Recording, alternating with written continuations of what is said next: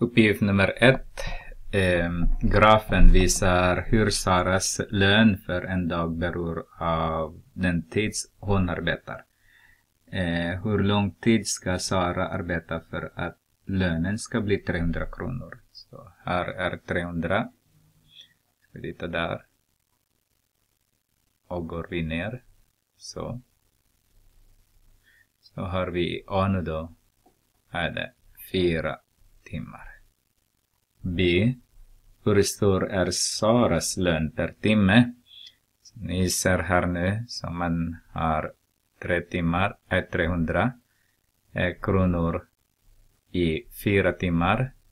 Så har man eh, 30 vidare med 4, det är 7. Och sen det är 25. Så har vi 75 kronor per timme.